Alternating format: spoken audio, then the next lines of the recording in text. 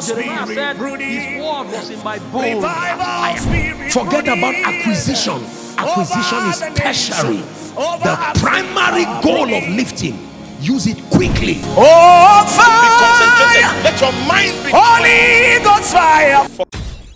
the law of faith. Let's touch one more that causes doors to be open. Ah, goodness. The law of favor.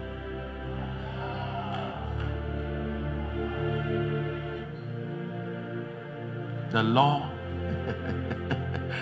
of favor. Jesus is Lord. Someone's life is about to change. He's gonna fulfill every promise to you. Give up on Listen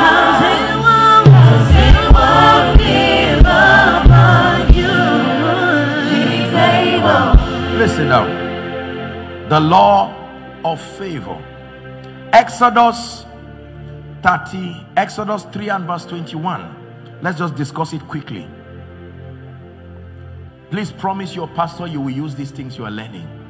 And promise him that you will return with the result to say, Sir, thank you, thank you, thank you. This thing will give predictability to your life. You will play life like a chess. You know how people play chess?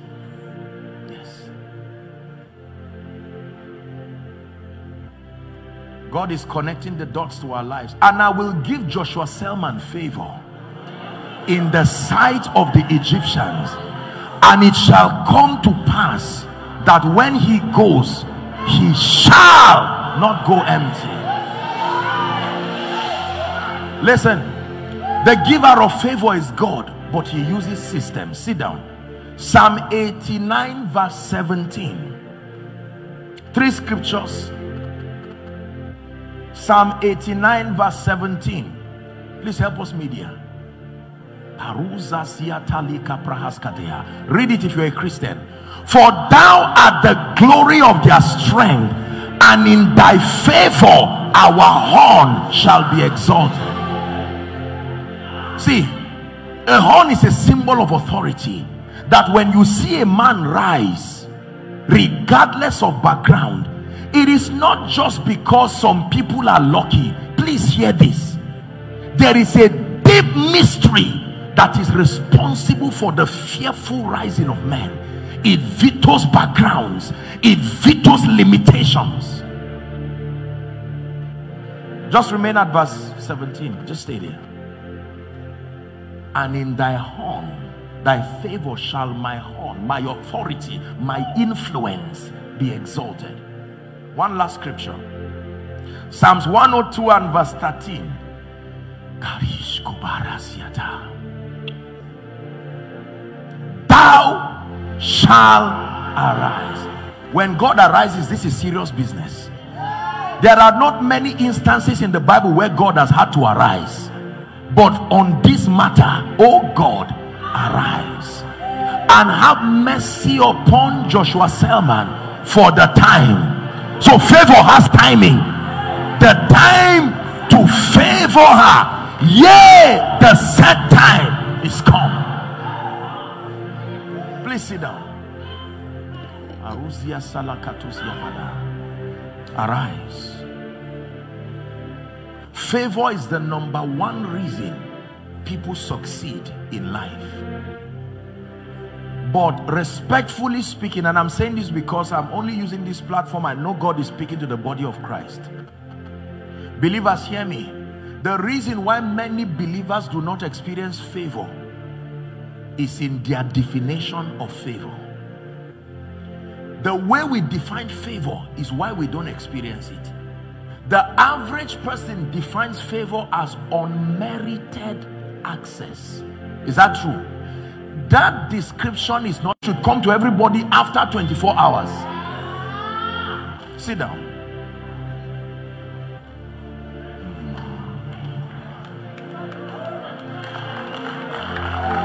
Now listen.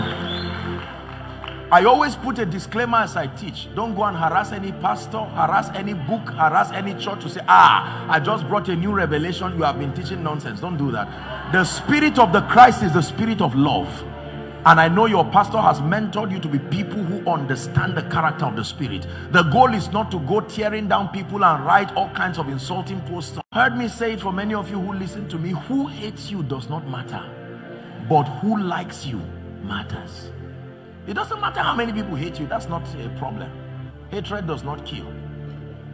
But who likes you? A king likes a village girl and suddenly she becomes queen. In this kingdom, who likes you matters. You can be in Lagos and someone looks at you and says, I like you, I want to help you. No strings attached. Are we together now? The proof of favor is not money. The proof of favor is loyalty to the heart of man. The proof of favor is not money. You can have money and not have favor. Wisdom also gives money. Diligence also gives money.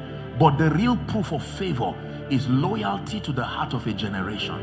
When people look at you and love you and will go to any length to support what you represent, the favor of God is upon you. It was because Jesus, Luke chapter 2 and verse 52, the Bible says, and Jesus increased. Believers, hear me Jesus increased, Luke 2.52, in wisdom, in stature, and he saw the importance of favor. He had to increase in favor with God. You can have favor with God and not have favor with men. If you have favor with God, you will have encounters. You will see angels. Mary was highly favored and she saw angels. She had all kinds of things but you will be broke you will suffer the doors will remain closed. The doors are not closed in heaven they are closed on earth. So you need favor with both god and man. Go and lose the colt and bring him. And when the owner asks for it tell him the master had need. If favor was not on jesus you will be surprised what that man would have done to jesus Nobody works hard and ties his coat. You come and lose it because you have a crusade. Who do you think you are? It is favor that is on you that will make someone stand up and say, please, what can I do to increase you? He said, God is, he said, no, no, no. I, I, I owe you. Please believe what I am telling you. No strings attached. I'm interested in your ministry. I'm interested in your project. How can I help? Please, can I pay the school fees of your children till university? Give me that honor. And you are there wondering and saying, Are you sure that there is no? He said, No, no. I will give these people favor in the sight. In the sight. Listen, Pastor, sir, I prayed for one month for the grace for favor to come upon my life because I studied ministry and I studied living and I found out if I don't have favor, things will be very bad. And I did not want to compromise to get to a point where, because of pressure, you will dabble into things that are ungodly because you are trying to feed your belly. I cried to the God of heaven the day it came. I said, This is it.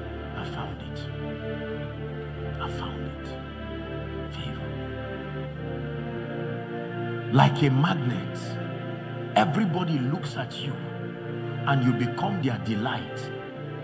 They look for ways to see that ministry is easy. They look for ways to see that you are lifted. Hallelujah. You need favor to achieve your goals. Let me show you quickly how to activate favor. But are you getting blessed favor. The first key to activate favor is honor. Please write it down. Honor. The first key that activates favor is honor.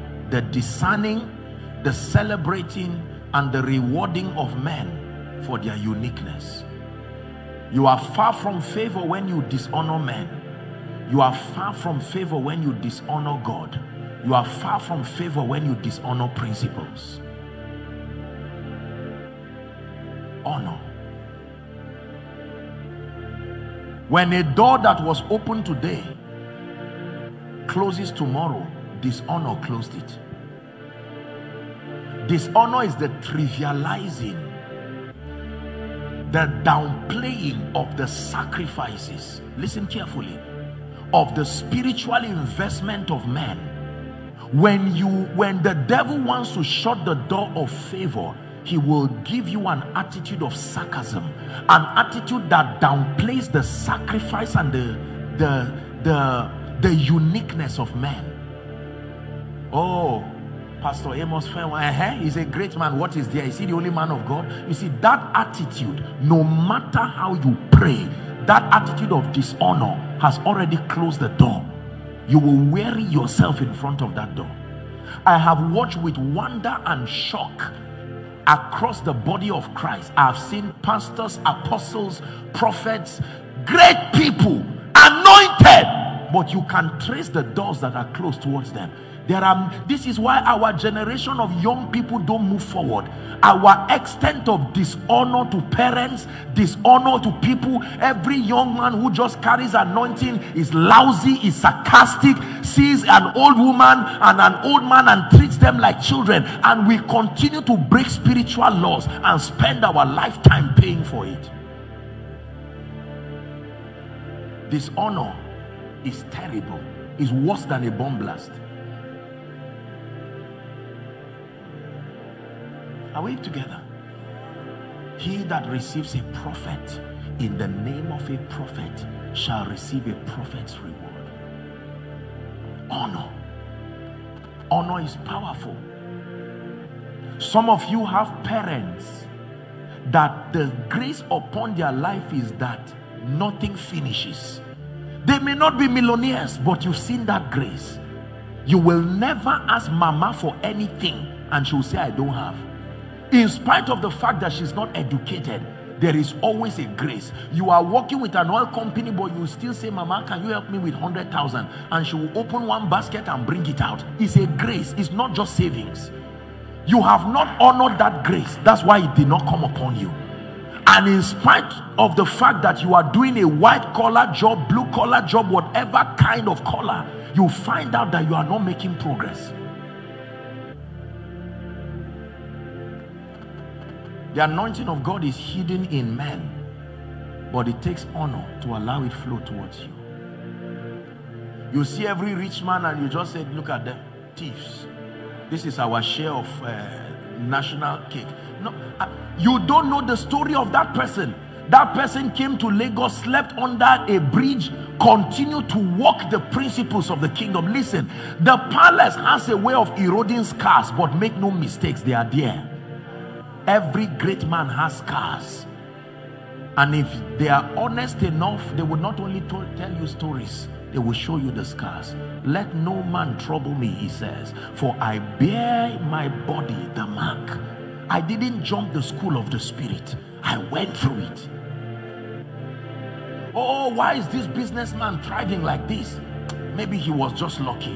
Why is this man of God? I'm sure they are just lucky. And you shut the door. Favor is controlled by honor. You will never hear me dishonor any man of God in the body of Christ. You will never hear me stand on anybody's pulpit and tear down the relevance of that church. I will never, not this church, not any church. No. I will teach truths. I will, within the limitation of the apostolic office, I will see that the body of Christ comes to the coordinate of truth, but I will administer it in love. As I'm teaching you now, I teach with a deep sense of reverence and honor to you. Because I do not know what grace you are carrying as you are seated there. You may not even be aware, but the grace is still there. I can honor my way to receiving that grace while I am teaching.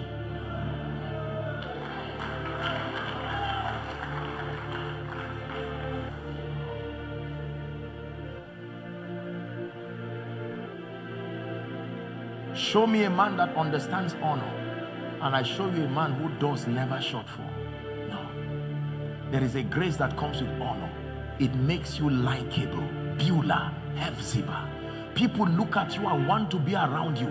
they will run around themselves to see that they connect to yourself. Listen, if you are alone and you are struggling, it's proof that dishonor continues to close open doors in your life. When I found that law, I said, This is it.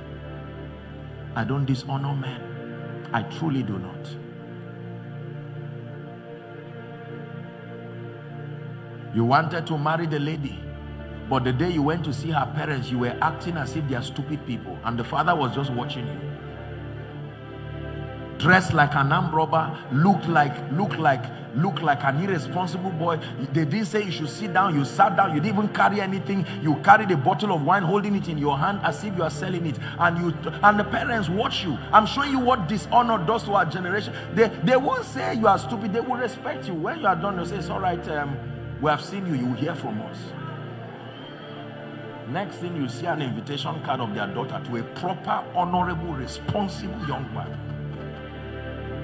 Same thing with preachers. God grants you an opportunity to platforms that you know that you should not even be there. And you run down everybody and make it look as though it were your power. You run down every man of God. There is no discernment of cadres. And that door exits you never to open for you again. When a door opened yesterday and does not open tomorrow, there is an explanation. This honor closed it. There are people who are invited to many churches and ministries only once and they never invite them again. The message was powerful, but the persona did not carry honor. Are we together? Number two, the second key that activates honor is called value value. I mean, that activates favor. Value. What is value? A measure of your contribution, a measure of your usefulness, your skill, a measure of your productivity. Life was designed to work based on a reward system. If you are valuable, I've always said it that most people say preachers are blessed for doing nothing. And I say, no, no, no, no, no. We are not blessed for doing nothing. There is an explanation as to the blessings of God. It's just the nature of how our value is dispensed that makes it look like it's nothing. Are we together now? Every man of God is blessed because he's a supplier of value. Just because the value is spiritual in context does not mean it is not. It's real value. You are shaping the understanding of people. You are connecting them to faith you are opening their eyes to see. You are constructing a destiny for them based on an information that is referenced on the word of God. That is value.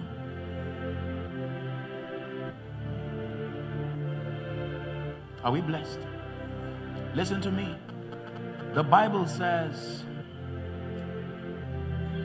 Seest thou a man diligent in his business? it leaves you with an assurance that he will stand before kings. He will not stand before mean men.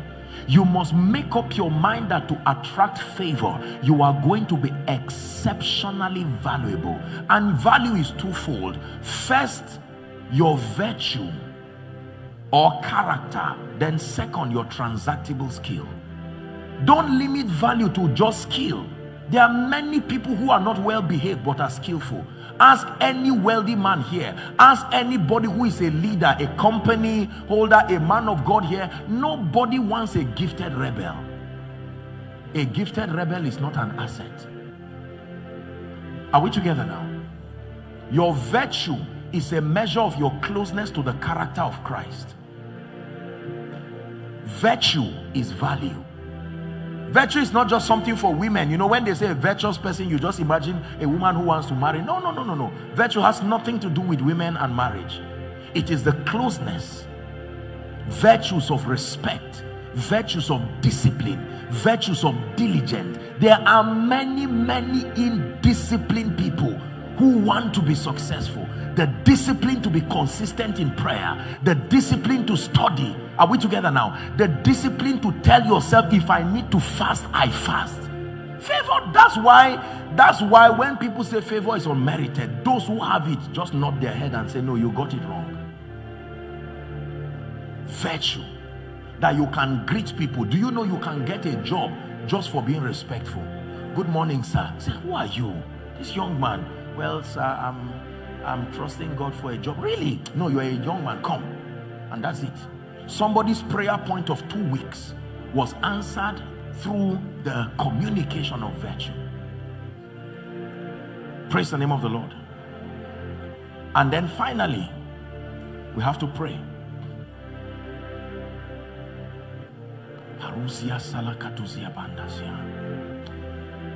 We'll deal with that in the night. But there is a grace called the Esther anointing. Huh. The Esther anointing is a grace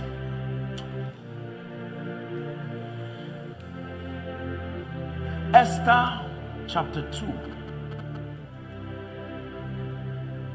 from verse 14 and 15 Alagbara You are the mighty God. Hanging told me. You are the glorious God. You are the glorious God. You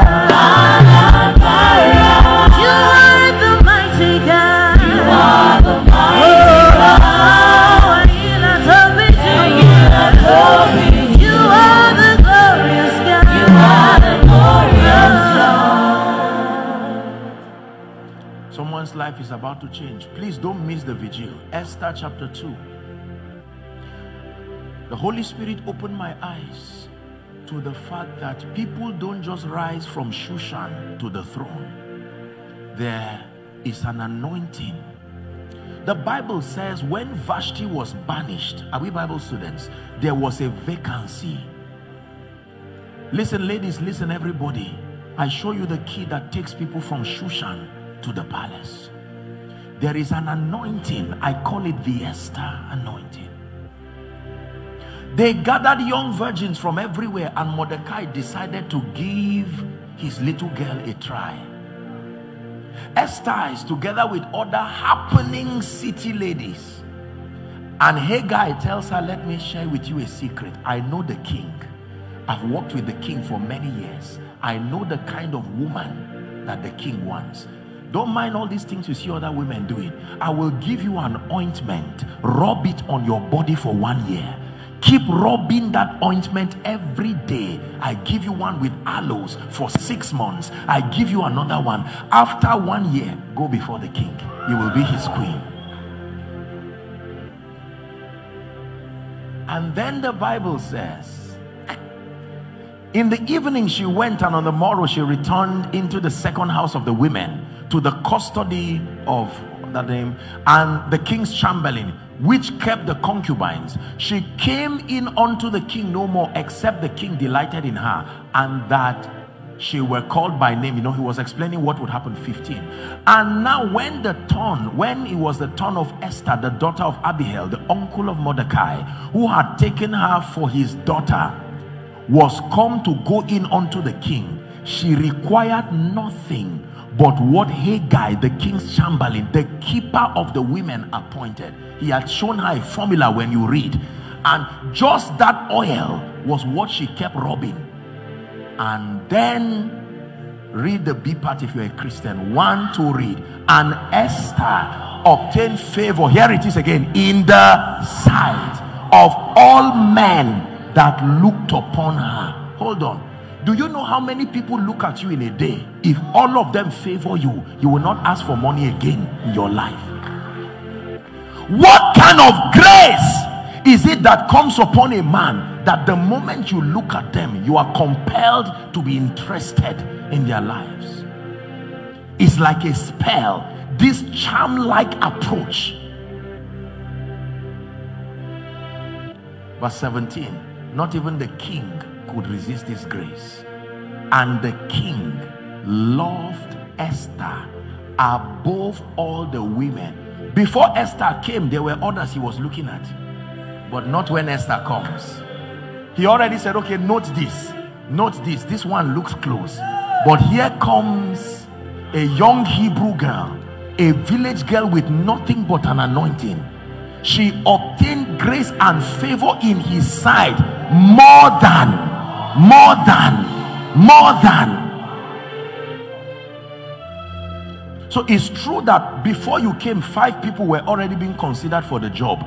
Already their names were down, but not when you show up. Place favor on your certificate and present it. If all you present is a piece of paper, you will not get anything. Add to your piece of paper favor. To your contract proposal favor. If all you have is just design and quotations, you will not get anything. Not in this wicked world. Than all the virgins, so that he set the royal crown upon her head and made her queen instead of Vashti. Favor is a law that opens doors, opens gates, opens cities Apostle is because I've never had the opportunity to be in the government house. I'm so skilled. Unfortunately, there are times that you can interpret dreams, but you will need somebody who is already in the palace to send you an invitation. It is favor that connects you. When I found this key, Pastor, I cried for one whole month praying, Lord, the kind of grace you have put upon my life. If I do not have the help and the favor of men I may not go far. And so I ask you favor. I prayed this when it came. I said thank you Jesus. There is no territory that closes against me. No. it is true. There is a grace who is interested in you? Who is interested in what you carry? There are people who will look at you and say sir what do you do? You say i'm a businessman. What do you supply? You say for some i i want to introduce you to somebody. We have been looking for someone like you. Whereas that person's cousin still does the same business and he will not introduce that person. Favor is powerful is there any man in the house of Saul that I may show him kindness for Jonathan's sake? Call Ziba for me. And the Bible says they brought Ziba. And he said, Is there anyone left? And Ziba said, In Lodebar, there is one crippled man called Mephibosheth, but he will not do you any good. He's a crippled man. It was not his fault. A midwife malhandled him and he became crippled he sent for. I think that should be first samuel second samuel 9 or something like that yes. When you read everything he now sent for mephibosheth. When mephibosheth came he said i'm a dog. What will i do in your presence? And he said ziba you and your sons your assignment is to farm. Farm bring food for this man but as for you, you will eat with me here. Go to verse 10 and see a very fearful statement in verse 10. He said, Thou therefore and thy sons and thy servant shall till the land for him, and thou shalt bring in the first fruits that thy master's son may have food to eat. But Mephibosheth, thy son, shall eat bread always at my table. Read the last sentence. Dangerous statement. Now, Ziba had 15 sons and 20 servants, and yet they didn't choose one of them. 15 sons 20 servants. And the king ignored them said go and get me one crippled person. A man has 15 sons. 20 servants you left all my sons and you sent me to Lodebar to bring a crippled man. Please rise up on your feet. I'd like you to find a prayer partner for these two minutes. If the person is not praying leave him find a serious partner that means business with destiny. In one minute i'd like you to open your mouth and pray.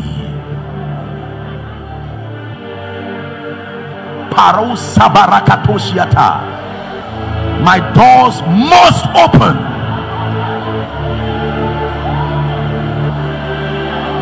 Zakatapakatos. Zeleke parusasiata Embrekete paruska barataziata and I will give you the keys of the kingdom. The keys of the kingdom. The keys of the kingdom. Shalas kabarata katoshiata. Embrekete kabarata kata. Holy Ghost Christian Center pray. The keys of the kingdom. Emprakata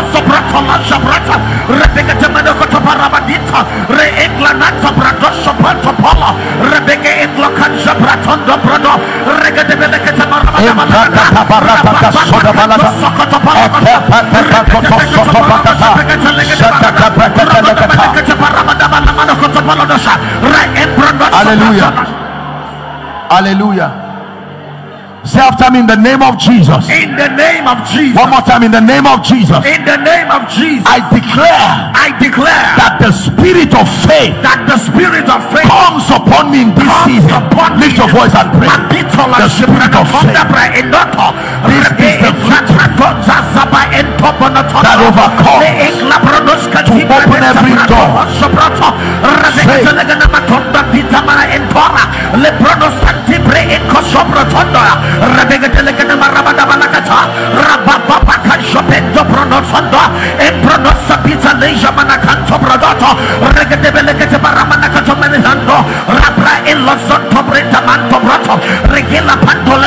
Shebara sabarakata, parusia paribasha.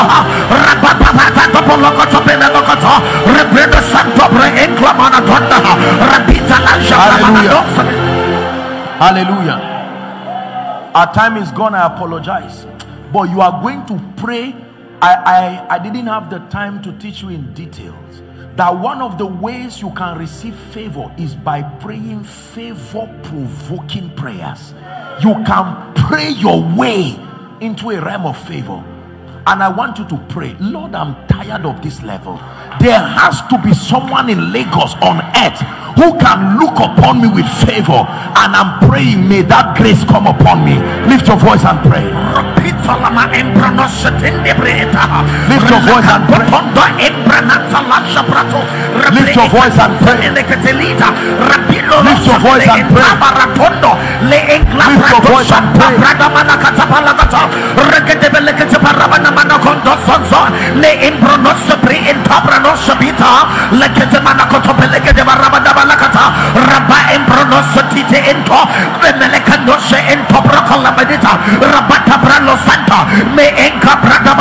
Lift your voice and pray. Jeremiah said his word was in my bowl. Forget about acquisition. Acquisition is tertiary. The primary goal of lifting, use it quickly. Oh, fire. Let your mind be Holy God's fire.